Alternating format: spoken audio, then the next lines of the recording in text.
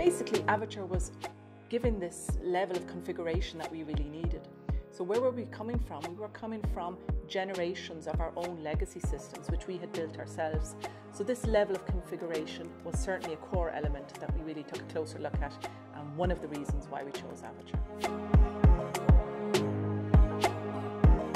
At the end of the day, it's about finding the best candidate for that opening that we have for the client and we have enhanced our search capabilities. So, obviously, we have our own networks, we have our historical data, but now using semantic search and also LinkedIn integration, this gives us additional advantages that we can use.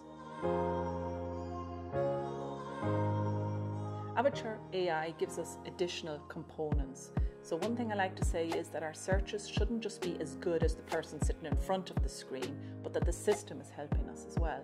So, if you have a certain bias or a filter and you're only looking for ABC in the system, then you'll only find ABC.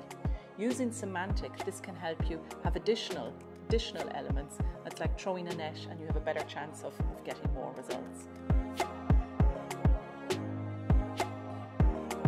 Reporting using the views this, is, this has given us the possibility to extract data and not to retype it, not to have that duplicate manual effort, but to have one golden truth, have all the information in the system, extract that and have it in a standard branded format that's the same for all users and all projects. In a nutshell, if I think about the outcome or the impact of the Avature implementation, for sure we're saving time. I don't have all the facts and figures, but if we added up the hours, days, weeks that in the past we used on manual effort, creating Excel files, Word documents, PowerPoint, the tools that a lot of team members were used to using, and we've eradicated this duplicate effort now.